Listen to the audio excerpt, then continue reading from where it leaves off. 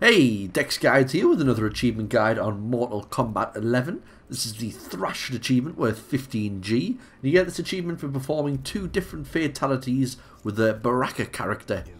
So what I would do here is start a local match against a CPU. It can be any CPU you want, just make sure that you put their difficulty on very easy. The other thing I would do is when you're setting up your local match is press the start button or the one that's the three lines, I'm not sure what it's called now and change your rounds to one round victory.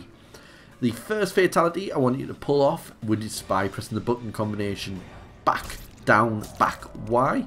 So obviously if you face if your character's on the right hand side you go left, if your character's on the right hand side you go on right. So to repeat that, that's back, down, back, Y.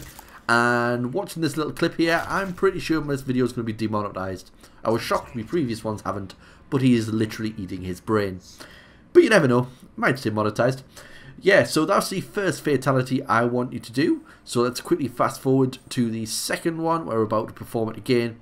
Obviously a fatality is performed once you take out all the life and it says finish him. This one we're going to press back, forward, back, then A. Or it's X on a PlayStation controller I believe, the one at the bottom. The first fatality was Y which I believe is triangle. And that one was um, back, forward, back, A. And that'll get your achievement popping as you see the bottom. Obviously the first one's a bit more graphic than the second. But I hope this guide helps out. If it does, please leave a like, comment and subscribe. And I'll see you in the next video. Bye!